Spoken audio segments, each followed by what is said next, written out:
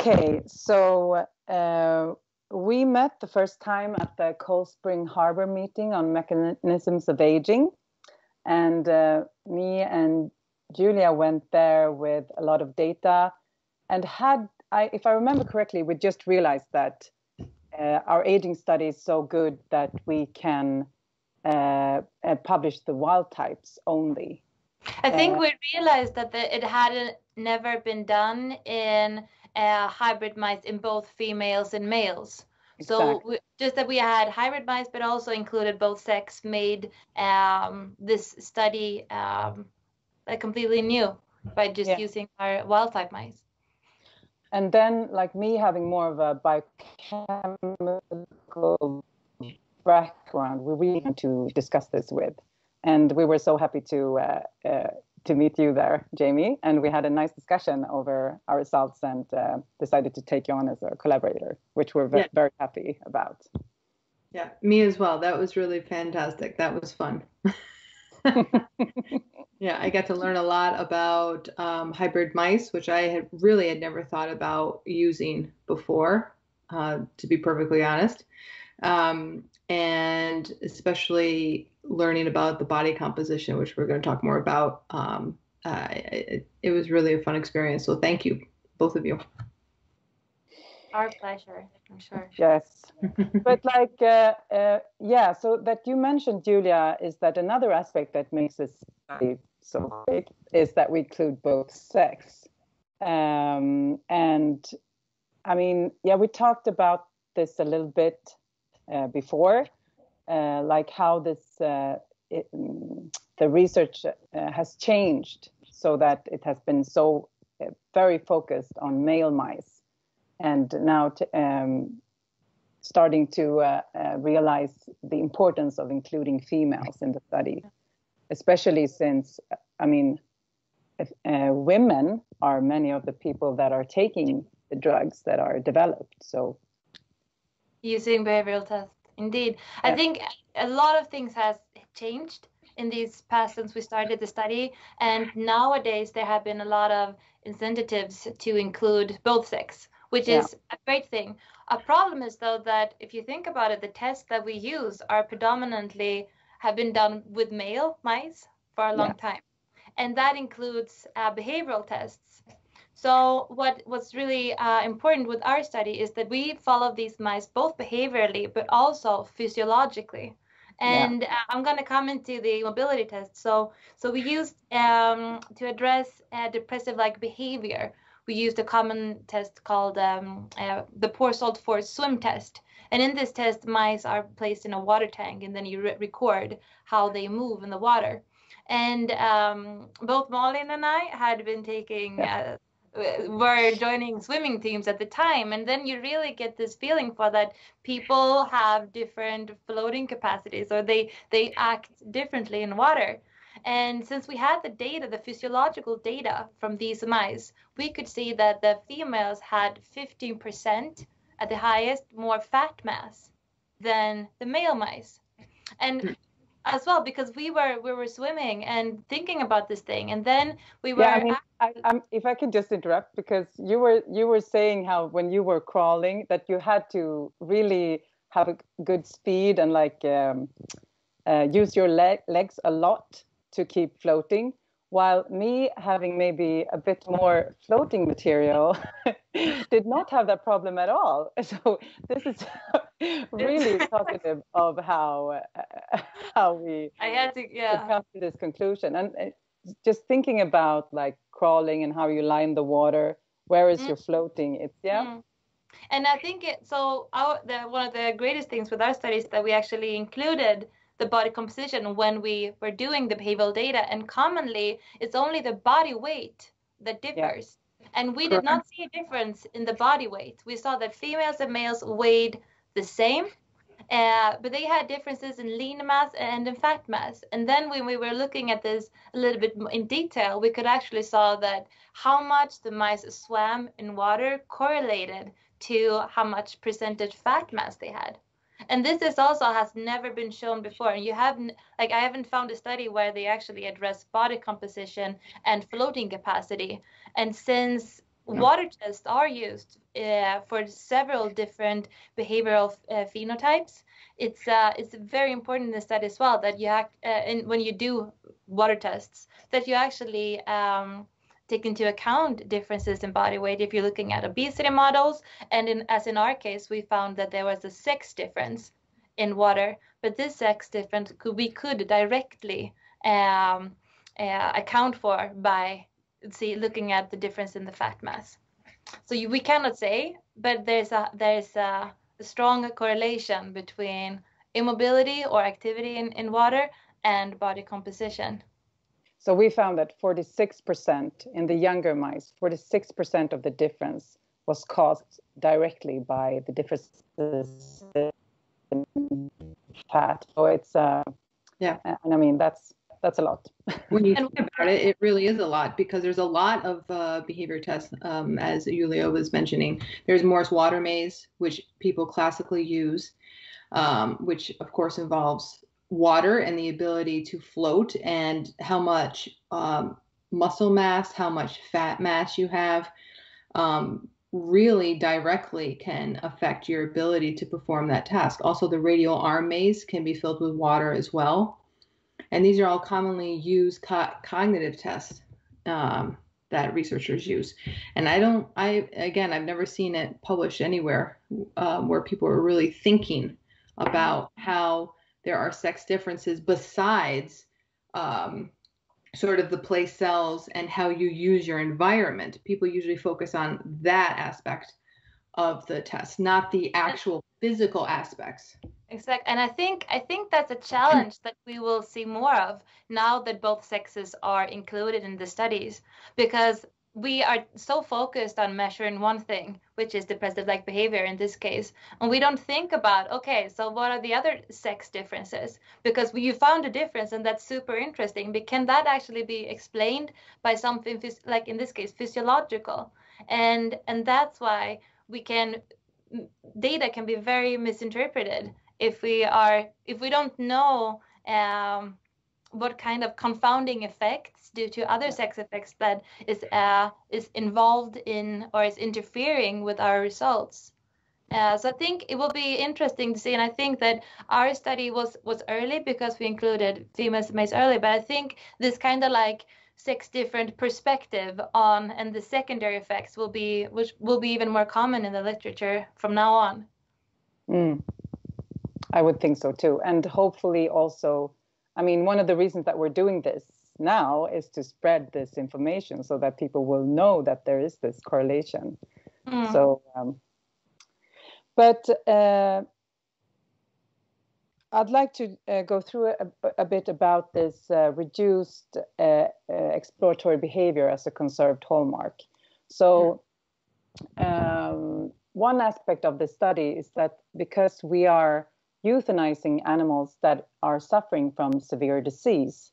We are looking specifically at aging and not features that come along with it with disease.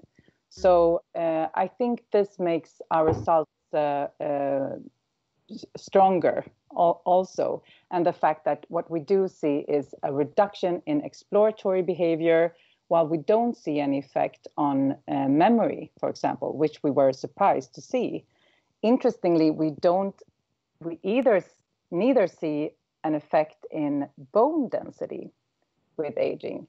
I mean, the old uh, uh, cohort that we're using, they are they are not. Um, so they're they're at a stage where it's about 70% survival. So they started to die, but they are still, I mean, relatively healthy. And this was by choice that we chose this because we didn't want to have a selection on the cohort that we looked at. We didn't want to study the ones that um, were extremely long lived only. We wanted to know more about the whole uh, population.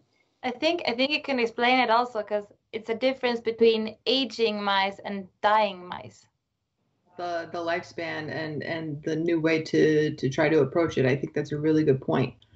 Yeah, because usually you have a yeah you you put an animal in an open field an aged animal and if they have these other comorbidities you're not sure if they are moving less because they actually are moving less you know they have sarcopenia and these other issues or maybe they have some arthritis or they're moving less because wow they're actually in pain because they have a disease yeah. yeah and that's and that's a challenge in the aging field because you want to you want to do research on old mice but how right. do you do the dis- discrepancy between dying mice and, and old mice and yeah. i think one of the reasons why we actually that we used in our ethic in our uh, in our protocol as well is that we removed uh, disease, um, animals with diseases also helped us forming a cohorts of aging mice and not dying mice. Yeah, yeah. exactly. So basically, this method is about like uh, giving an estimate of like the so-called lifespan. I mean, traditionally, uh, lifespan experiments are conducted until um, the animals are, or they are allowed to live for as long um, that they are uh, considered so sick from um, from disease, so that they could are not likely to survive for an, another week, and uh, that means that they could go for months or even years with big tumors, and uh, and that's, I mean, ethically that's very problematic. But as we were talking about, it also can complicate other analysis, of course. But the way that we do this then is that we, uh, uh, um, when we euthanize these animals, we have we make two curves. One curve we count these animals as if they, they had died from natural courses, causes, and that's of course is an underestimation. And then we make another curve that we cal- we calculate these animals as if they uh, were as healthy as their littermates, which they were not because they had a terminal illness.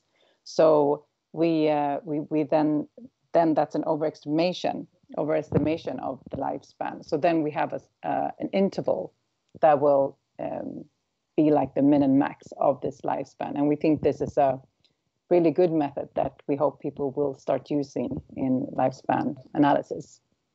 Yeah, I think it's really fantastic. Actually, the more and more I think about it, I, I know that maybe I'm biased, but um, so many institutions are not allowing researchers, for obvious reasons, to perform lifespan studies uh, anymore because they do do not want the animals, understandably so, to be in pain and to be sick. Uh, mm. so this is actually a really nice way to say, hey, I'm I'm doing a lifespan analysis. However, um, I'm going to euthanize the animals who are sick and still get data, you know, good solid data that I can use. Mm. So and, and compare one or the other. Yes. Yeah, and compared to other aging studies, because that was one of our issues that we wanted to euthanize our, our animals uh, on, upon early signs of disease. But since no other aging studies that we found had euthanized the same amount or the large percentage of mice, we knew that it will be different because, of course, they will have uh, a longer lifespan. But since we created the spans, we could actually compare our data with it, even though we used a different protocol, with with a lot of other aging studies in the fields, which is also important to to know the the platform and to also compare your research against what's known in the literature. Yeah, and to be able to uh, define the age status of your cohorts you're looking at. I mean, yeah, and this was initially in the paper that we submitted. I don't remember where now, but uh, uh, it was part of the reviewer's comments that the animals are probably not feeling so well because they have such a short lifespan, and that's when we started to to uh, think about this and to invent this method, basically. Yeah. Are we going to go back and talk about the exploratory behavior a little bit more? Because sure. Mm-hmm. one one point that I, I wanted to also uh, mention was I think that this is a really nice, easy way to to monitor what's going on with the animals because there's no um, uh, there's no cognitive testing involved in the sense that you don't have to worry oh i'm using males or females so i can't i, I shouldn't use this test for the females i shouldn't use this test for the males. It, it's an it's a conserved test that you can use for both males and females. It's easy in the sense that it requires not an absurd amount of equipment and you put the animals there and then you you walk away and you let them stay in that environment for uh, um, an hour hour and a half and then you look at the first 10 15 minutes of that exploratory time. And i think that's also something really nice that people you know i hope other researchers see and think how they could incorporate that measurement into their aging analysis of the animals I think yeah, and that's the easy that that is easy to to do uh, opens up for a lot of people to do it. But I think also one of the findings of this paper was that we found exploratory behavior to de- to decrease, but we didn't find learning and memory. And when you look at a lot of behavioral testing, they have an exploratory or exploration component in their tests. And since we found and could show that in a hybrid background, in both females and males, this declines, it is also, my question is like, is exploratory behavior and the decline in exploratory behavior a confounding effect of other results that has been shown of learning and memory because they are based on exploratory components as well. So I think yeah. also when you perform aging studies, you should actually assess the exploratory behavior to be able to know what your other behavioral tests show since yes. we mm. have these components integrated into the test. Yeah, absolutely.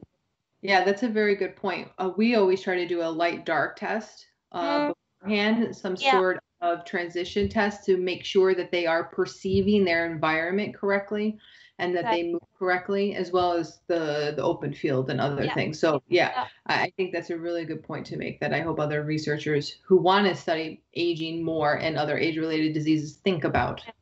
And also to be cautious uh, about when you do a behavioral test and you have a test battery, it's preferable if you do the open field test early on when the mice are yeah. naive because you can also see a change if you do open field test we learned our lesson. If you do yeah. it later, you can actually change the order. So you want to have it early on in the in the behavioral test battery, and then also you can see. Then you would know also if you find differences, and you need to exclude results from from following um, from following analyses and, and tests. Yeah, and also that the animals are affected by ha- being handled, so yes. their exploratory behavior will change. So then it's yes. yeah we know now, it's uh, hard to compare them. Yeah. Yeah. Mm. I had another comment on like uh, on this because this DEXA, I mean, this uh, DEXA equipment may not be standard in all laboratories. For, for, for, body mm. composition, the DEXA. So yeah, I don't think everyone knows. So DEXA yeah. is used oh, for uh, measuring body composition of of mice and rodents in this. Can use different yeah. types yeah yes exactly and and uh, i mean i don't know maybe this is someone has done this but i'm just thinking that one way instead to do this would be to analyze the density of the mouse i mean basically just putting them in water and see how much volume that goes out and then that would be some kind of measure of what the mouse density is. While My, they're floating they're not taking out yeah maybe it's complicated yeah. mice mice float. They're known to float, and yeah. and they don't do this themselves. But if they're not uh, naked mice, uh, they they do exactly. they do float. And and I was thinking, yeah, I think it would be uh, an excellent follow up to actually look at. And I think it has been done at positioning. So I know yeah. that there's a, um, a, paper out where they have uh, tried to remove the surfactant. So they added detergent into the water, and then they could see that the position of the mice changed. So it has been shown that like the, the buoyancy, buoyancy, floating, yeah, yeah but they, that has not been done in correlation to or in in behavioral tests. So you can see that they do change their their position and their angle in the water, but they haven't um, correlated this to to anything as as what as the, what I know. Okay, so the take-home messages from this work are that uh, we want you all to know that the main um, uh, conserved hallmark of aging behaviorally uh, is a decreased exploratory behavior. And we want you to be aware when you're doing water based tests to uh, assay body composition because fat mass can correlate to uh, behavior in water based tests.